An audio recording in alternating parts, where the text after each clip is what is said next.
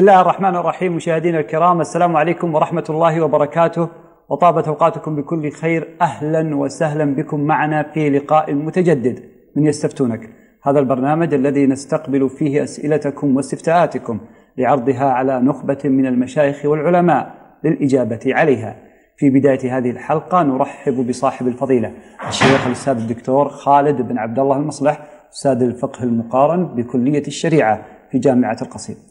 حياكم الله شيخ خالد حياكم الله مرحبا بك وحيا الله الاخوه والاخوات أسأل الله يجعله لقاء نافعا مباركا. اللهم آمين. أنتم مشاهدينا الكرام نسعد كثيرا باستقبال أسئلتكم واستفتاءاتكم وذلك بالاتصال على أرقام البرنامج والتي تظهر تباعا على الشاشة فمرحبا بكم. طيب نستقبل اتصالاتنا شيخنا بارك الله فيكم أولى اتصالات أم عبد العزيز من جدة السلام عليكم من السعودية نعم. أم عبد العزيز أهلا السلام عليكم. وعليكم السلام. حياك الله عبد العزيز آه عندي سؤال للشيخ تفضلي. الشيخ أنا أعاني من حالة خوف وهلع فإذا صليت آه، يعني ذهبت هذا المخاوف عندي. يعني أكون مطمئنة بالصلاة. بس إذا سلمت يعني ترجع لي هذه المخاوف. فسؤال الشيخ كيف يعني يكون يعني مثل الصلاة دائما يعني ما أكون مطمئنة بدون مخاوف وما هي الأدعية؟ اللي تذهب عني هذه آه، الأفكار والمخاوف يعني تريدين أدعية لذهاب هذه المخاوف ليس كذلك؟ إي نعم ويعني يعني بدون ما يكون فيه ما يحدث هذه الأشياء طيب تسمعين إن شاء الله الاجابه. في سؤال آخر عبد العزيز؟ سالم من السعودية السلام عليكم. أخ سالم السلام عليكم. السلام أخي كيف الحال طال عمرك؟ مرحبا بك حياك الله تفضل باسئلتك. الله يطول عمرك أنا ودي أكلم الشيخ طال عمرك الشيخ يسمعك. كبير في السن شوي.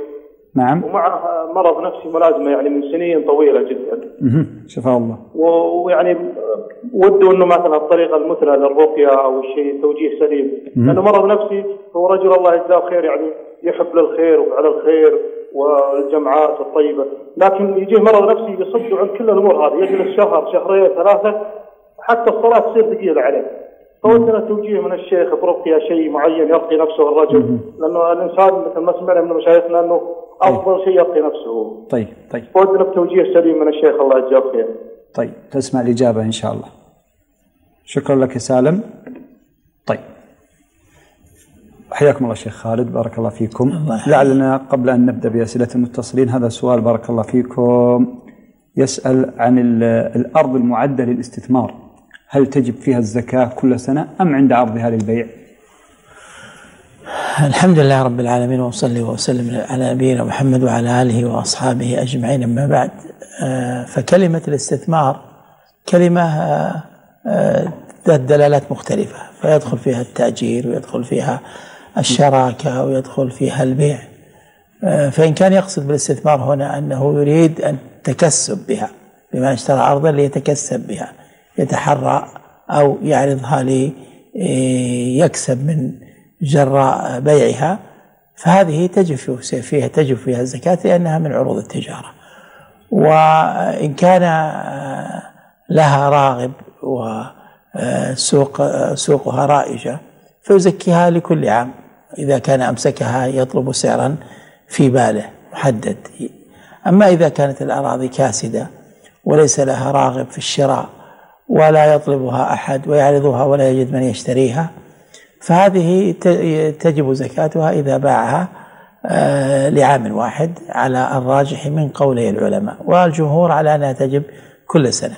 لكن في إيجابها كل سنة مع هذا الوضع الذي ذكرت وهو أنها كاسدة ليس لها راغب فيه آه، إشقاق آه، وبعد عما فرضت الزكاة من أجله. فبالتالي الذي يظهر لي والله تعالى أعلم أنه إن كانت الأرض مرغوبة وإنما تمسك بها ليحصل السعر في باله فهذا يزكيها كل سنة. إذا حال الحول على ماله قومها من جملة المال بقيمتها في السوق وأخرج زكاتها وإن كانت الأخرى بمعنى الحالة الأخرى أنه ليس لها راغب ويعرضها ولا يجد من يشتريها أو يشتريها بثمن يبخسها بخسا شديدا. فهذا لا تجب فيه زكاة إلا مرة واحدة إذا إذا باعها. نعم. بارك الله فيكم شيخ خالد. أسئلة المتصلين أم عبد العزيز وأيضا الأخ سالم يعني سؤالهما قريب من بعض. كلاهما يعني. أم عبد العزيز تقول أنها تعاني من خوف وقلق. كيف تتعامل مع هذا الأمر؟ تريد أدعية يعني للتغلب على ذلك خصوصا وقت الصلاة. كذلك الأخ سالم يقول أن والده أيضا كبير ومريض نفسي يعني مرض مزمن فيعني يتغيب عن الناس وحتى الصلاة تكون ثقيلة عليه. فكيف التعامل مع هذه الحالة؟ على كل حال هذه الأسئلة يعني آه، لها جانب آه، يعالجه المختصون في علم النفس والطب النفسي. وأما ما يتعلق بالدعاء فالدعاء آه، ليس له نص محدد فيما يتعلق بسؤال الله عز وجل العافية من مرض بعينه مثل الأمراض النفسية القلق الرهاب الخوف وما أشبه ذلك. إنما يدعو بما فتح الله تعالى عليه من الأدعية ومنها دعاء الهم الذي أوصى النبي صلى الله عليه وسلم بتعلمه وحفظه وهو ما جاء في المسند من حديث عبد الله بن مسعود أن النبي صلى الله عليه وسلم قال في دعاء الهم اللهم أنت ربي اللهم إني عبدك ابن عبدك ابن أمتك نصيتي بيدك ماض في حكمك عدل فيه قضاءك أسألك بكل اسم هو لك سميت به نفسك وأنزلته في كتابك وعلمته أحد من خلقك أو استأثرت به في علم الغيب عندك أن تجعل القرآن ربيع قلبي ونور صدري وجلاء حزني وذهب همي وغمي. آه وقد جاء بروايات قريبة من هذا. فهذا الدعاء آه، ملازمته مما يكشف الله تعالى بها بها عن الإنسان ما يكشف الله به عن الإنسان ما قد يعتريه من خوف وحزن وضيق وهم آه، ولكن لا يقتصر على هذا. هذا وغيره إذا حفظ هذا وكرره يرجى إن شاء الله تعالى أن يجد فرجا وكشفا لمخاوفه. فإذا تكا فإذا كانت الحالة مستعصية قد تمكن منها هذا الذي يشكو منه الأخ أو الأخت ف فل يعني فلتستعن مع الدعاء والذكر والصلاة وما إلى ذلك من العلاجات والأدوية الشرعية بما يمكن أن يكون من الأدوية الأدوية النفسية التي تعين على تجاوز هذه المرحلة. أسأل الله أن يعافيها. وأن يعافي كل مريض وأن ينزل السكينة في قلوبنا وأن يعيذنا من نزغات الشيطان. اللهم آمين. بارك الله فيكم شيخ خالد. هنا أيضا سؤال يتعلق يعني بموضوع جائحة كورونا شيخنا. يقول هل الأخذ بأسباب الوقاية في هذه الجائحة يتنافى مع كمال التوكل على الله كما في الحديث وعلى ربهم يتوكلون؟ لا هذا لا لا تنافي لا منافاة بين أخذ الأسباب والتوكل التوكل عمل قلبي. التوكل هو عمل القلب وهو صدق اعتماده على الله في جلب المنافع ودفع المضار في تحصيل ما يحب وفي دفع ما يكره. هذا هو التوكل. هو عمل قلبي في الأصل. هذا التوكل الذي في القلب لا يتنافى مع أخذ الأسباب الموصلة إلى النتائج المطلوبة. ففي الشتاء يلبس ثيابا كثيفة ثقيلة. لأجل أن يحصل يحصل على الدفع ويتوقع البرد. وهذا لا يتنافى مع التوكل في حصول ما يريد. عندما يجوع يأكل. والأكل سبب. وهذا لا ينافي التوكل في طلب الرزق وفي حصول ما يؤمن من الشبع. وهلم جر في أشياء كثيرة يفعلها الإنسان. يأخذ السبب وهو معلق القلب بالله في تحصيل النتيجة. من هذه الأسباب. هذه الأسباب لا تؤدي إلى نتائجها من ذاتها إنما تؤدي نتائجها بقدرة الله وإرادته فهو الذي إذا شاء جعلها مؤدية إلى النتائج وإذا شاء عطل عنها النتائج. فكم من زارع لا يحصد وكم من زارع آه، بذر وجد وحصل. لكن الذي لا يبذر لا يمكن أن يزرع لا يمكن أن يحصد. الذي لا يبذر لا يمكن أن يخرج له زرع. ولا يمكن أن أن يحصل. فأخذ الأسباب لا يتنافى أبدا مع التوكل. ولهذا الناس فيما يتعلق بالتوكل على ثلاثة أقسام. قسم يعطل الأسباب ويقول أتوكل على الله والذي قدره الله سيأتي. وهذا لا يمكن أن يكون مضطرد في الأمور كلها لكن قد يكون انتقائي في أمور يقول أتوكل على الله. لكن لا يمكن أن يكون في كل أمر لا يأخذ بسبب. هذا القسم الأول الذي يعطل الأسباب ويقول ما له داعي الأسباب وعلى الله فتوكلوا يظن أن التوكل يعني أن لا تأخذ سببا. قل لن يصيبنا يعني يستشهدون وما أشبه ذلك. الثاني قسم يغلو في الأسباب ويجعل أسباب نصب عينه ويغفل عن قلبه في تعليقه بربه وأن هذه الأسباب هي أدوات لتحصيل المطلوب لكنها لا يلزم أن تؤدي إلى النتيجة. إذا لم يشاء الله أن تكون منتجة لثمارها محصلة لنتائجها فإنها لن تكون مؤدية إلى الغرض. هذا القسم الثاني وكلاهما خارج عن الصراط المستقيم.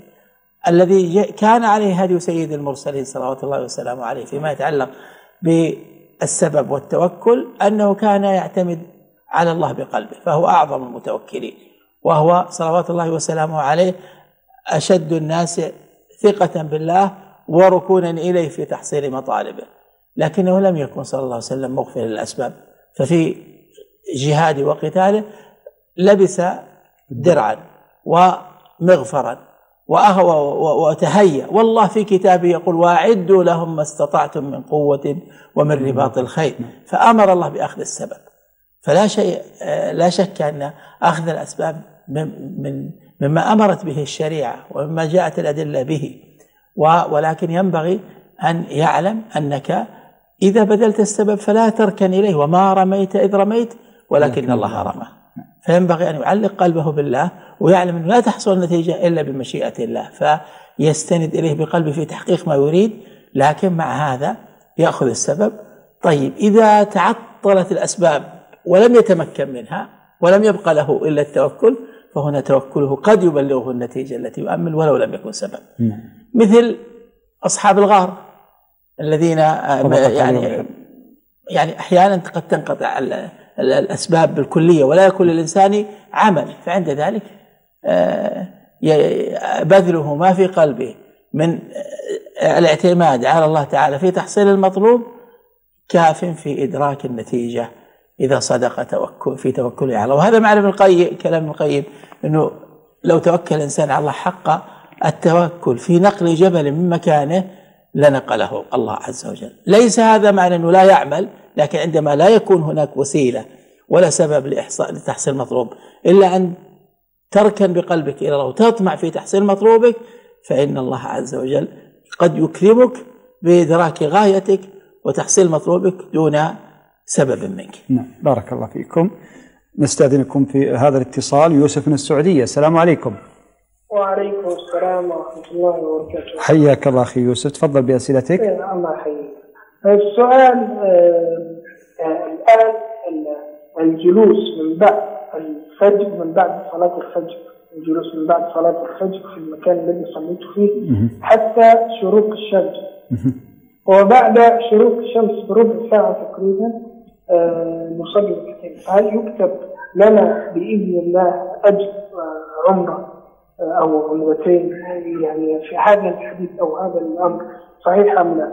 الأمر الآخر آه، آه، حكم يعني ال- ال- الفرح ما الفرق بين الفرح والعجب؟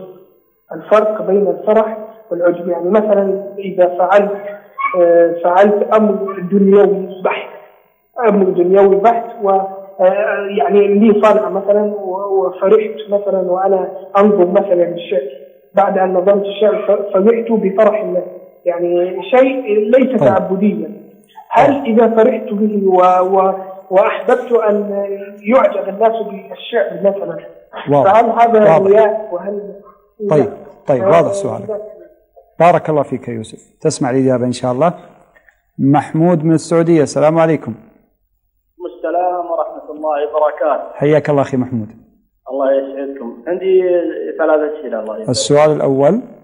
السؤال الأول بارك الله فيك. أنا إذا صليت الفروض آه، دائما سوى العشاء أو أي صلاة في الفروض آه، دائما أقولها وأنا إذا خلصت الصلاة أقوم وأقول الأذكار وأنا أمشي بالبيت في حالة إني أصلي في البيت لحالة مريض. وكذلك إذا جاء الفجر قمت وانسدحت على فراشي وكملتها على فراشي هل هي جائزة؟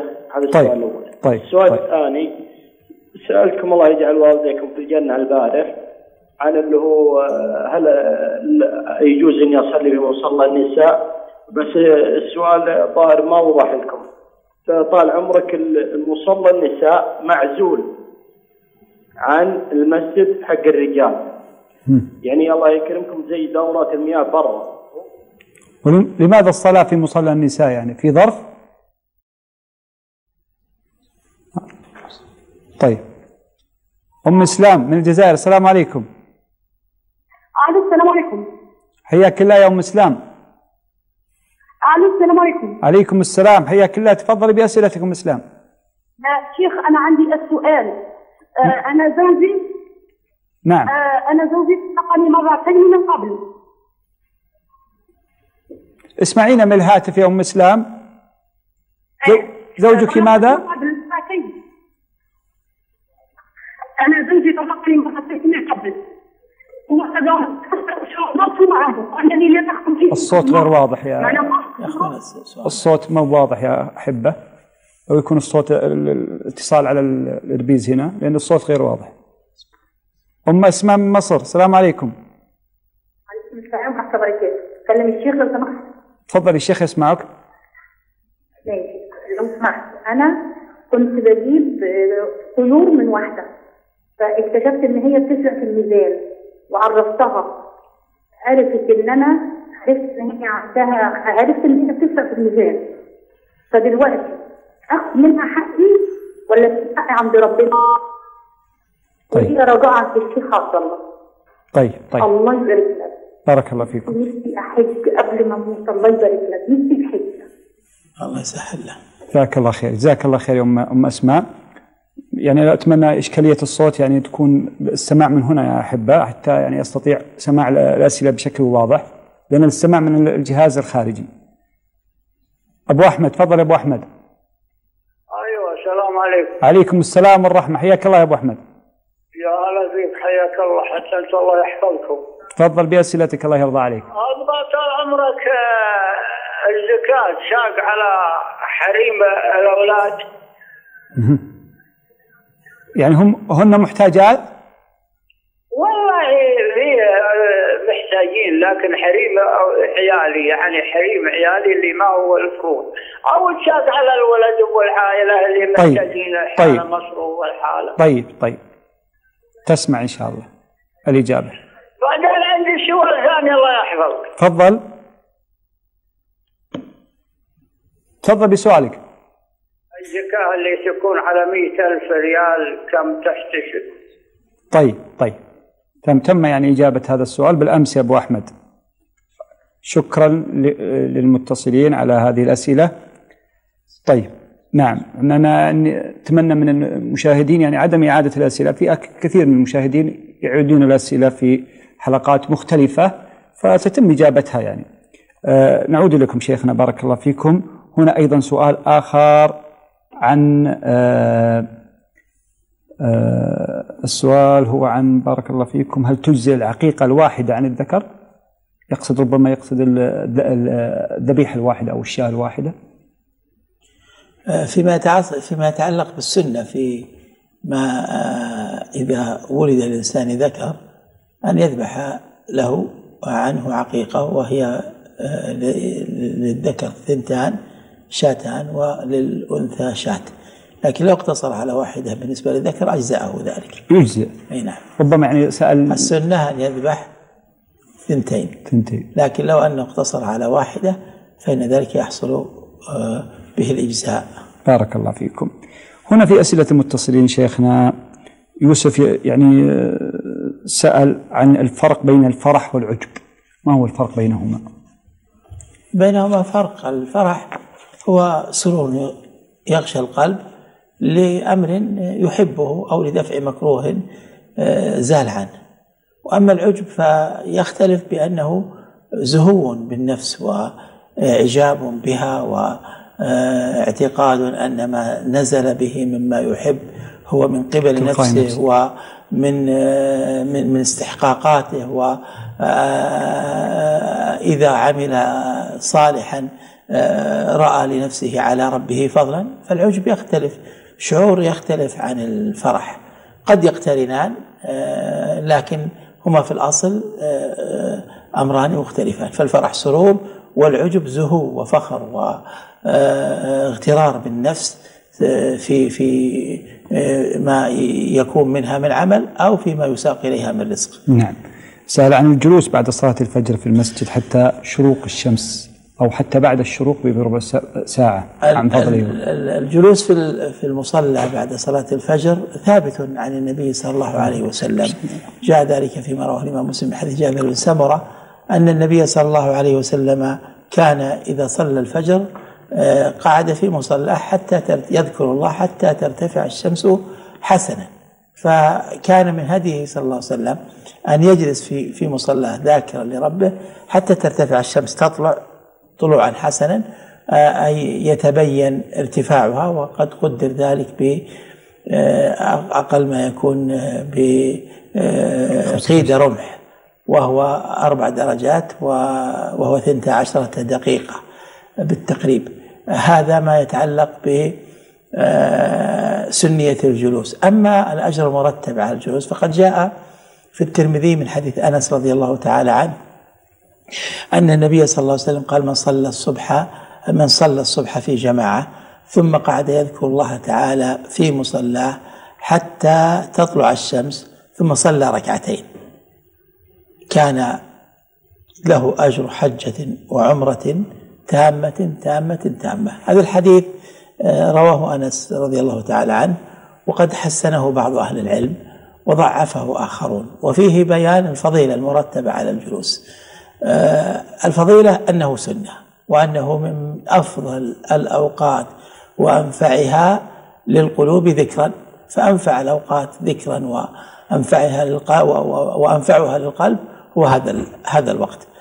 أما الأجر المرتب المذكور في الحديث ففي الحديث كما ذكرت مقال عند جماعة من أهل العلم وصححه بعض أهل العلم فصححه شيخنا عبد العزيز بن باز رحمه الله آه، وكذلك الألباني وجماعة من المتأخرين آه، والذي يظهر والله تعالى أعلم آه، أن الحديث ينازع في في في في ثبوته لكن الفضيلة ثابتة بفعله صلى الله عليه وعلى آله وسلم.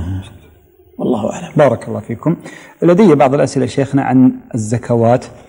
هنا يعني سائل يقول في سؤاله أنه آه، آه، آه، قرضي العقاري استلمته خمسمائة ألف ويعني أنا يقول جالس أشتغل فيه في عمارتي ودار الحول وبقي خمسين ألف. هل عليه زكاة؟ علما أنها لا تكفي لكي أكمل هذا البناء. هذا المال دين. هو مطالب بهذا المال يعني هو أخذه قرضا للبناء. للبناء أو أخذه دينا أو تمويلا للبناء. وبالتالي هو مطالب فالذي عليه دين يجمع كل ما معه من مال ويخصم آه، قدر الدين. بمعنى أنا عندي آه، مئة ألف وعلي دين مئتي ألف وعلي دين مئة ألف. في هذه الحالة زكاة عليه لأنه المال الذي عنده كله استغرقه الدين. لكن لو كان عندي مئة ألف وعلي يدين آه، ثمان ثمان وعلي يدين ثمانون ألفا. ففي هذه الحال أقسم الثمانين وأزكي ما تبقى وهو العشرون إن كان قد بلغ نصابا. والعشرون نصاب لكن إن كان أقل من النصاب فلا تجب فيه الزكاة. بارك الله فيكم. أيضا سؤال آخر قريب يعني من هذا السؤال. يعني يقول السائل شيخنا آه، أخي لديه بيت يعني بناه من ماله ونزل له قرض آه، قرض الصندوق العقاري. هل يستطيع أن ينقل ملكية البيت لأخي الثاني ويشتريه منه عن طريق البنك لكي يستفيد من القرض العقاري؟ هذا لا علاقة له بالزكاة. آه، نعم هو سؤال في المعاملات المالية. طيب تفضل ما هو؟ هو يقول أن أخوه أو أن أخاه بنى بيتا من ماله ونزل له قرض الصندوق العقاري. هل يستطيع ينقل ملكية البيت لأخيه الثاني ويشتريه عن طريق البنك لكي يستفيد من القرض العقاري؟ آه يعني هو يريد أن يستفيد من التمويل من العقاري. التمويل نعم وطريقة الاستفادة أنه عنده بيت سينقله باسم أخيه نعم. ليشترى من أخيه له. نعم. هذه حيلة على آه العقد لا تجوز وهي وسيلة إلى الربا. لا يعني تجوز هذه. إذا هذه المعاملة لا تجوز. نعم. بارك الله فيكم. من أسئلة المتصلين شيخ خالد الأخ هنا في سؤال. محمود يقول أنه يعني بعد الانتهاء من الصلاة يعني يسلم ثم يقوم يعود إلى بيته ويقرأ أذكار بعد الصلاة وهو ماشيا إلى البيت وأحيانا يكملها إذا يعني كان بعد صلاة الفجر خصوصا وهو يعني قد استلقى وقد نام. هل يعني في ذلك حرج؟ السنة أن يبقى في مصلاه؟ بالقدر الذي يفرغ من الأذكار التي في أدبار الصلوات. ثم إذا مضى آه، ذلك ولو كان بأقل ما يكون من الذكر يمضي ويذكر الله بقية الأذكار أذكار الصباح في طريقه. فيبقى بالقدر الذي يفرغ من أستغفر الله أستغفر الله أستغفر الله اللهم أنت السلام منك السلام تبارك يا ذا الجلال والإكرام. ما كان محفوظا عنه صلى الله عليه وسلم من أدبار الصلوات من تهليل وتسبيح ولو كان بالأقل يعني عشر تسبيحات وعشر تحميدات وعشر تكبيرات وهذا لا يستغرق دقيقتين. صحيح. وبالتالي يدرك السنة ويذهب ليأخذ راحة إن كان محتاجا إليها. نعم بارك الله فيكم. أبو أحمد يسأل عن الزكاة على الولد أو على زوجتي زوجة الولد.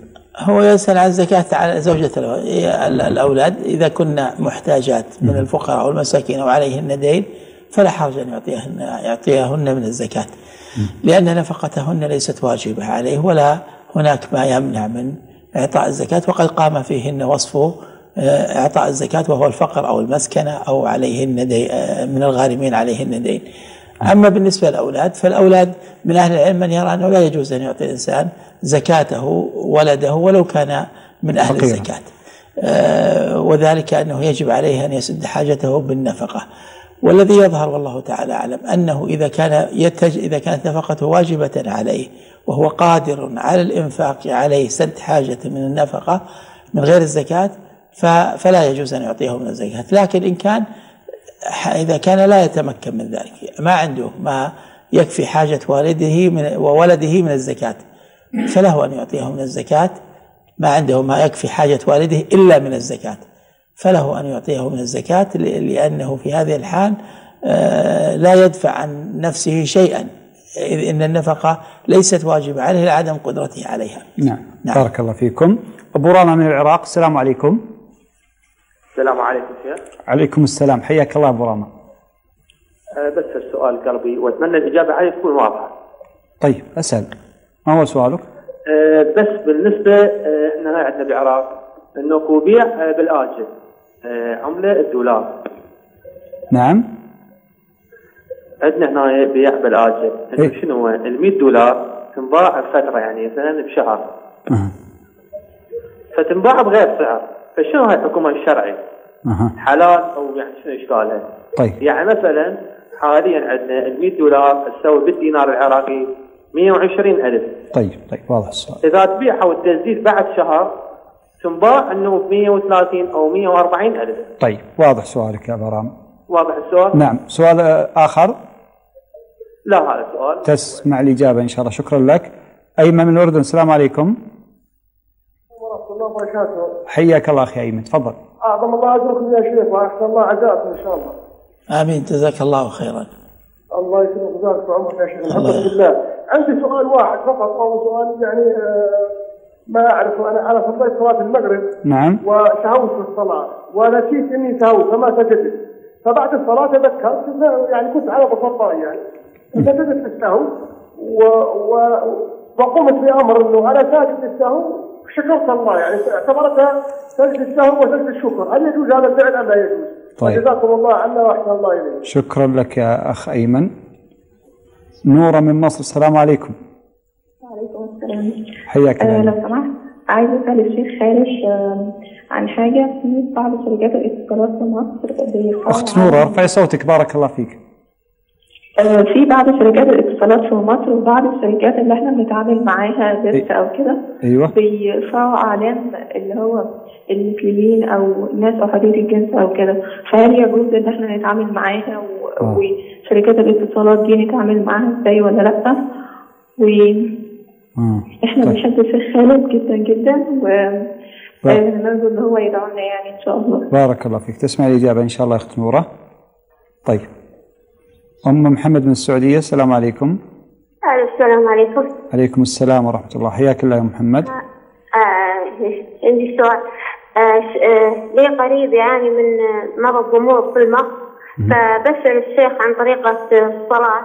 وادعي الشيخ أن يدعي أن يدعي أن الله يشفيه وأن الله يوفقه.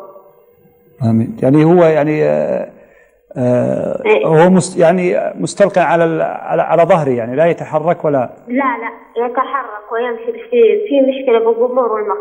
أها طيب طيب. أسأل الشيخ أن يدعي له وأن الله يوفقه. طيب. تسمع الإجابة إن شاء الله. أيضا أم محمد من السودان. السلام عليكم. وعليكم السلام. حياك الله يا محمد. تفضل بأسئلتك. أم محمد اسمعينا من الهاتف. بارك الله فيك. أغلق التلفاز. آه، عندي سؤالين إن شاء الله. طيب بس أغلق التلفاز يا أم محمد حتى نستطيع كويس سماع الصوت بشكل واضح. تفضلي بأسئلتك. آه، ركعتين السنة بعد. ذهبت. طيب. شيخ خالد آه، نعود إلى أسئلة المتصلين وهنا سؤال للأخ أبو راما يتكلم آه، يسأل عن البيع بالآجل. يسأل عن بيع العملات بالآجل. نعم بيع يعني العملات بالآجل, بالآجل. وأن الأسعار تختلف في كل فترة. بيع الدولار بالآجل آه، سواء اختلف السعر أو لم يختلف لا يجوز. لأن العملات في قول أكثر علماء العصر وهو الذي صدرت به الفتاوى من جهات علمية عديدة آه، مجامع ولجان وأفراد أن العملات تعامل معاملة الذهب والفضة. فكل عملة تعتبر جنسا مستقلا. فإذا بعت الذهب بال فإذا بعت الدولار بالريال فأنت كما لو بعت الذهب بالفضة.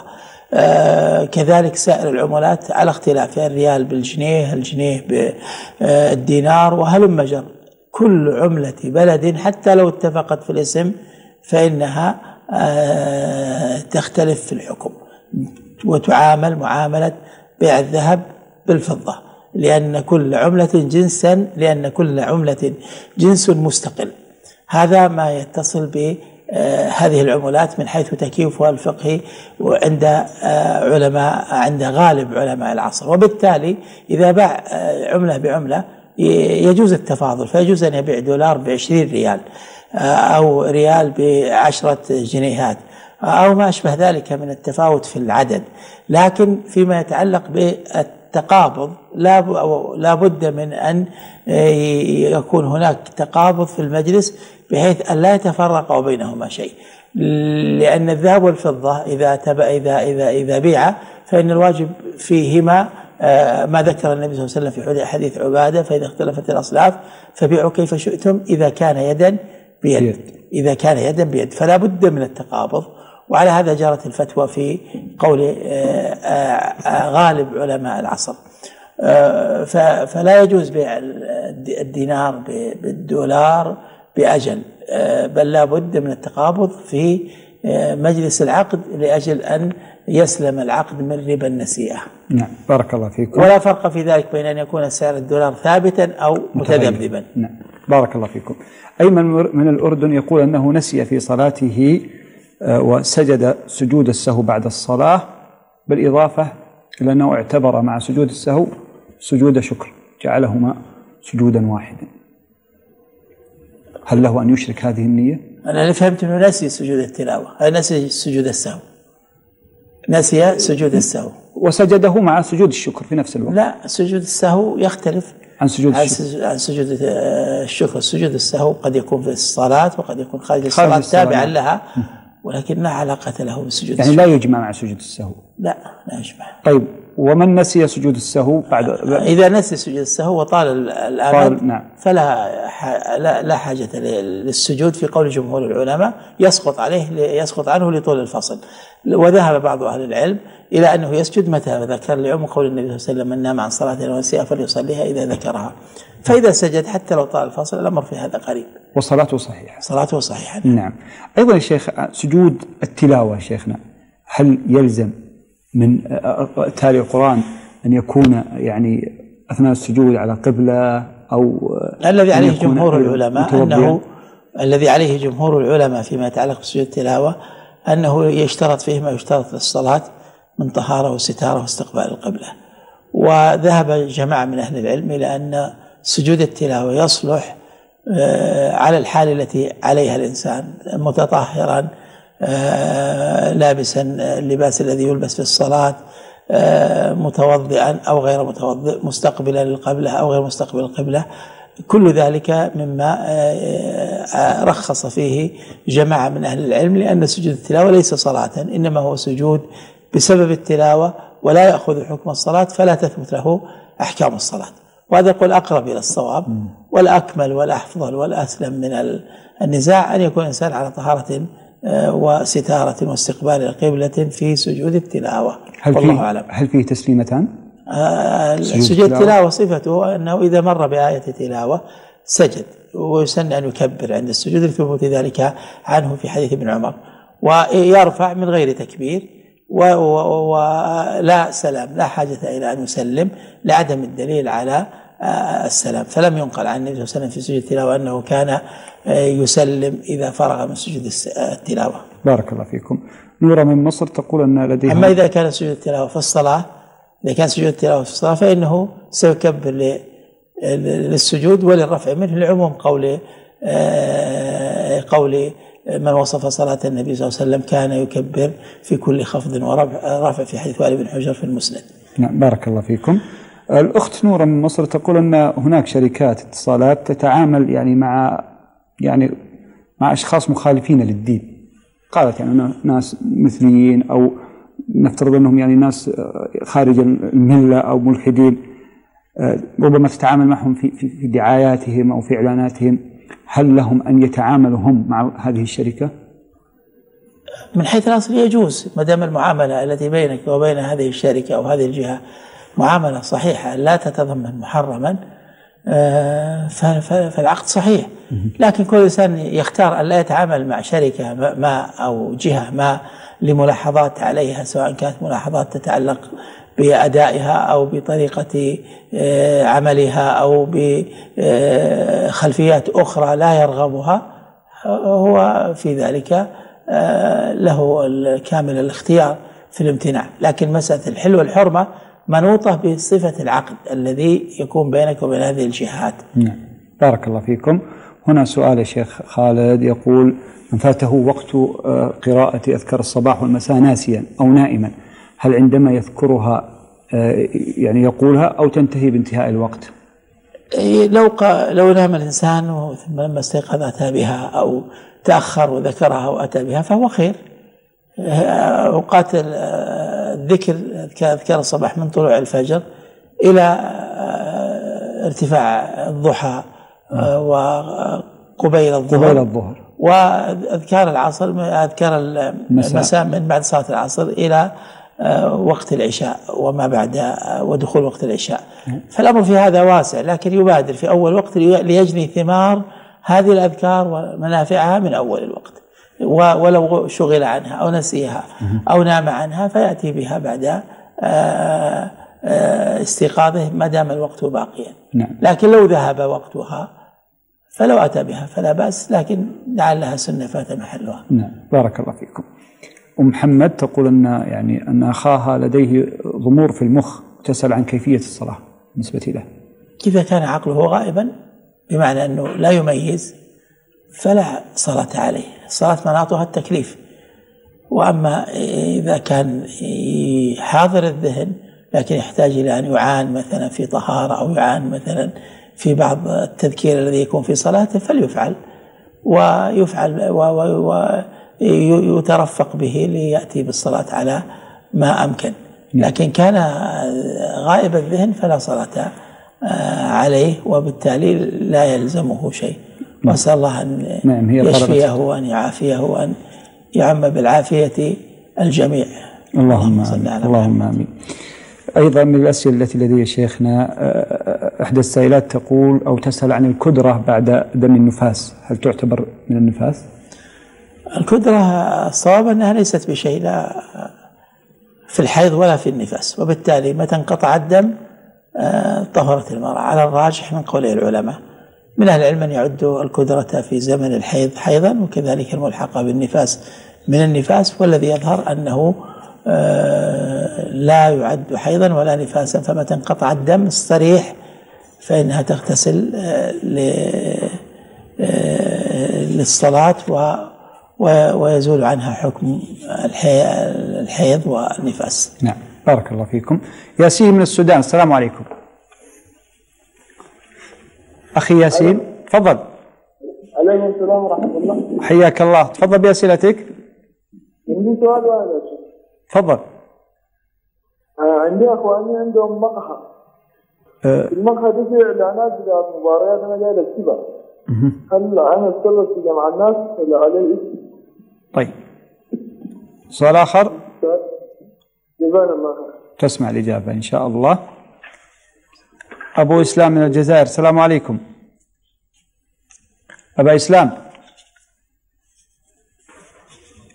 طيب أيضا يا شيخنا من الأسئلة الرواتب هل عليها زكاة علما أننا نصرف منها ويبقى منها لكن لا نعرف كم يبقى فيما يتعلق بالرواتب والأجور الشهرية آه، أو اليومية آه، زكاتها في أن يحدد الإنسان ما يكون يوما في سنته ليزكي مدخراته هذا إذا كان هناك ادخار أما إذا كان الراتب يمضي وينتهي قبل مضي الحول فهذا لا زكاة فيه لأنه من شرط وجوب الزكاة أن يبلغ نصابا وأن يحول عليه الحول.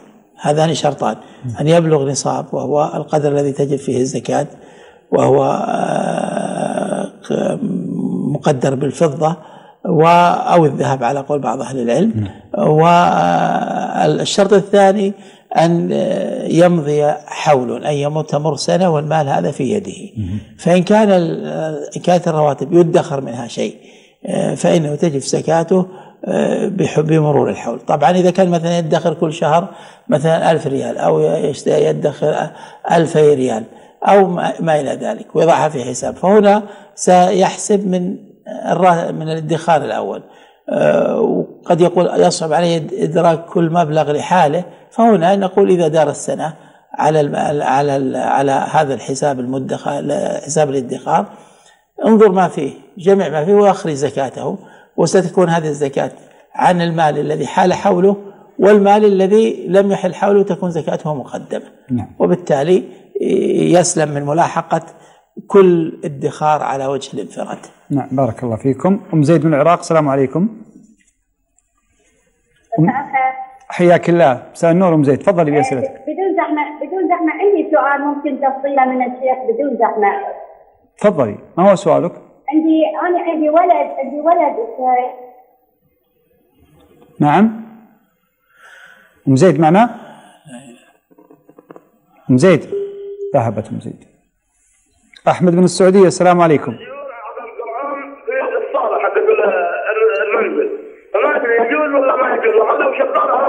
أخ... أحمد. أحمد إيوه. تفضل ما سمعنا سؤالك سمعنا النص. ما هو سؤالك من الأول؟ هو سؤال واحد. أقول لك عندي العوال لما يروحوا كل على موقع احول التلفزيون وعندي في الصاله أحوله على القرآن. يحتفظ لي الصباح. فما أدري يجوز ولا ما يجوز؟ والله ما واضح. ليس واضحا السؤال. أعد سؤالك يا أخي أحمد. ذهب. ذهب أحمد. يعني نتمنى توضيح اللي الأسئلة. واضح يأخذونه. قدر نعم نعم. أو الأخوان في الكنترول يأخذون الأسئلة إن لم تتضح لدينا. آه الأخ ياسين يقول أن هناك مقهى يعني تعرض فيه المباريات. هل يجوز العمل فيه أو يعني ما يربحه هذا صاحب المقهى هل هو من المال الحلال؟ هو يقدم القهوة وما إلى ذلك من المشروبات المباحة فالأصل الإباحة. نعم. طيب. أيضا من الأسئلة شيخنا بارك الله فيكم. طيب أمة الله من العراق السلام عليكم. أمة الله. ها. الاتصالات اليوم. مح... محمد من العراق أيضا. تفضل يا محمد. أخي محمد. طيب قطعت اتصالات هنا سؤال يا شيخ خالد. يعني هناك يعني سؤال هو غريب. يقول ما حكم من يعني لعن نفسه ألا يدخل بيت فلان؟ ربما يعني قصد بهذا ال- ال- الحلف لكن يعني بهذه الطريقة. وإن رجع عن هذا اليمين ودخل إلى إلى هذا البيت هل عليه كفارة؟ طبعا الآن سؤال من شقين يعني هل ال- الحلف باليمين بهذه الطريقة جائز أن يلعن الإنسان نفسه وأيضا لو يعني لم لو خالف هذا اليمين أو يعني فعل ما ما منع نفسه منه هذه الصيغة ليست يمينا إنما هي في حكم اليمين في قول جماعة من أهل العلم في قول جمهور العلماء. وذلك أن يلزم نفسه ما يكرهه.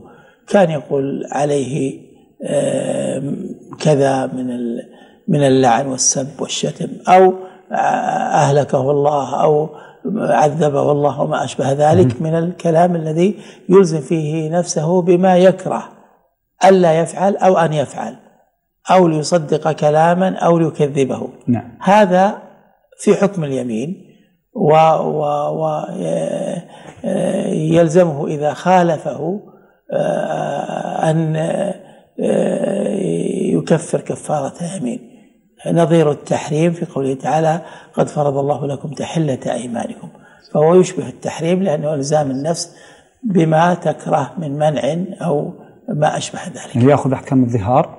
لا لا. أحكام اليمين. حكم اليمين نعم. ظهار غير.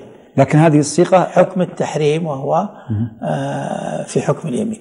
هذه الصيغة يا شيخ تكون جائزة؟ هو الأصل لا ليس المؤمن باللعان ولا بالطاعة لا نعم. يلعن نفسه ولا غيره. نعم نعم. لكن إذا وقعت منه فما الحكم؟ الحكم أنه إذا خالف ذلك فعليه كفارة. نعم. طيب بارك الله فيكم. سناء من الأردن. السلام عليكم. السلام عليكم. عليكم السلام. حياك الله يا سناء. معلش آه، فضيلة الشيخ خالد يعني أنا بتمنى إنك تريح لي قلبي بهالسؤال يا شيخ. تفضلي ما هو سؤالك؟ آه، سؤال إنه أنا يعني بعتذر أول شيء لكم من يوم أنا صار معي حادث من أسبوع حادث كثير كان خطير. والحمد لله الله نجاني أنا وأولادي فأنا دائما بسأل سؤال بس بدي فضيلة الشيخ خالد يجاوبني عليه. هلأ ربنا لما ينزل الإنسان من حادث مميت لا قدر الله هل بيكون بعد قضاء الله وقدره إنه العمل خير فيه أو لأنه أولاده صغار؟ أو لأنه ذكر أذكار والدعاء قبل الحادث بثواني مثلا يعني طيب. فاهم علي فضيلة الشيخ؟ طيب واضح واضح سؤالك أوه، شكرا كثير تسمعين الإجابة وألف سلامة عليك يا أخت سناء أبو عبد الرحمن من السعودية السلام عليكم السلام عليكم عليكم السلام حياك الله يا أبو عبد الرحمن عندي سؤال واحد ما هو سؤالك؟ إذا اسمه نمت وما قدرت آه، أستيقظ قيام الليل. هل يجوز اني أقضي بعد صلاة الفجر مباشرة؟ طيب. طيب. سؤال تسمع الإجابة إن شاء الله. طيب شيخ خالد سؤال الأخت سناء يعني هل يعني من حصل له مكروه في هذه الحياة ونجاه الله منه هل يعني يقول أن هذا الأمر كان بسبب يعني عمل صالح أو بسبب أو يعني بسبب أن الله يعني رحم الأطفال أو يعني يجعل سبب من أسباب الدنيا؟ كيف سبب من أسباب الدنيا يعني أي سبب مثلا أنه أو من أسباب أعماله الصالحة يعني أنه يجعل ذلك مع بسبب أعماله الصالحة التي عملها يقول أن الله نجاني بهذه الأعمال. هل للإنسان أن يت- يتلفظ بهذه الكلمات أو يعتقد هذا الأمر؟ على كل حال النجاة من مكروه هو من فضل الله تعالى على العبد وقد يكون ذلك بسبب من عمل الإنسان. وقد يكون ذلك فضلا من الله محضا لا يد للإنسان فيه. آه، وفي كلا الحالين ينبغي له أن يثني على الله وأن يشكره وأن آه، آه، يري الله من نفسه خيرا بعدما حصل له من ال- النجاة ما يؤمن وما يحب. ولا شك أن الأذكار الشرعية والأوراد مما يقي الله تعالى به الإنسان آه، الشر الكثير ولكن قد ي- ينجى الإنسان من مكروه ولم يذكر صحيح. فتعيين سبب معين للنجاة من هذا هو واقعة. محددة نعم. محددة هذا لا يمكن الجزم به ولكن في الجملة آه، سواء كان له- له سبب أو لا سبب له من قبل الإنسان فهو من فضل الله عليه الذي يستوجب شكره والإقرار بفضله والإقبال عليه وإحسان العمل نعم حتى الناس يعني أيضا يقولون سبحان الله الله أنجى فلان بسبب أعماله الصالحة. يعني هم كذلك يطلقون هذه ال- ال- ال- الأمور قد يكون هذا قد يكون يعني إطلاق صحيح. مثل هذه الأمور لا لا قد لا يكون لكن الجزم يا أخي أنا أتكلم الجزم. عن الجزم. الجزم لا يمكن أن يجزم الإنسان ان النجاة التي حصلت له بسبب كذا إلا أن يكون عنده بينة وبرهان. وأيضا على النقيض يا شيخ خالد قد يقول مثلا يأتي الانسان مصيبة فيقولون أصابه الله بهذه المصيبة بسبب ذنوبه أو بسبب شره على الناس أو بسبب ما فعل. على كل حال كل ما يصيب الإنسان مما يكره قال الله تعالى وما أصابكم من مصيبة فبما كسبت أيديكم. لكن تحديد أمر معين. أو الجزم. فهذا يحتاج إلى دليل. أما الإجمال والعموم ف- فلا شك أن الصالحات من أسباب النجاة الحمد وأن السيئات من أسباب الهلاك. ولكن آه، لا يجزم في ذلك ب- في في واقعات معينة إلا بدليل. صحيح. بارك الله فيكم. آه، أبو عبد الرحمن آه، سأل عن قضاء قيام الليل بعد صلاة الفجر. قضاء الوتر بعد أو أو صلاة الليل بعد نعم. الفجر. نعم. هو المشروع لمن فاته حزبه من الليل. فقد كان النبي صلى الله عليه وسلم إذا فاته حزبه من الليل صلاه ما بين صلاة الصبح والظهر نعم. بارك الله فيكم. لعلنا يا شيخنا نختم بهذا السؤال. آه، يقول الإنسان الذي يشتد به الحزن لفراق والدته هل ينافي ذلك كمال الصبر؟ إذا رافق هذا الحزن تسخط في قلبه أو تسخط في قوله أو في فعله لا شك أن هذا خارج عن حدود الصبر المطلوب والواجب على العبد. لكن إن كان ألما لفقد من يحب ومع الصبر والاحتساب فهذا آه، سيذهب مع الأيام. لأن الإنسان يسلو ولو كان من فقد حبيبا دام حزنه آه، لما نعم أحد بعيش لأن كل أحد يفقد حبيبا يوما من الأيام. نسأل الله أن يجمعنا بمن نحب في مستقر رحمته وأن يفرغ علينا صبرا فيما نلقاه مما نكره اللهم آمين. شكر الله لكم الشيخ خالد عبد الله. مصلح على تفضلكم بالإجابة على أسئلة المتصلين. وأنا أشكرك وأشكر الأخوة والأخوات وأسأل الله عز وجل لي ولكم التوفيق والسداد وأن يحفظ بلادنا ويوفق ولاة أمرنا إلى ما يحب ويرضى. وأن يسددهم في الأقوال والأعمال وأن يرينا في أنفسنا وفي إخواننا وفي أهلينا وفي آه، البشرية ما يسرنا وما نحب وصلى الله وسلم على نبينا محمد اللهم صل وسلم على نبينا محمد أنتم مشاهدينا الكرام شكرا لكم على حسن متابعتكم للقاء هذه الليلة. غدا موعد جديد بمشيئة الله تعالى. إلى ذلكم الحين نترككم في حفظ الله ورعايته. السلام عليكم ورحمة الله وبركاته.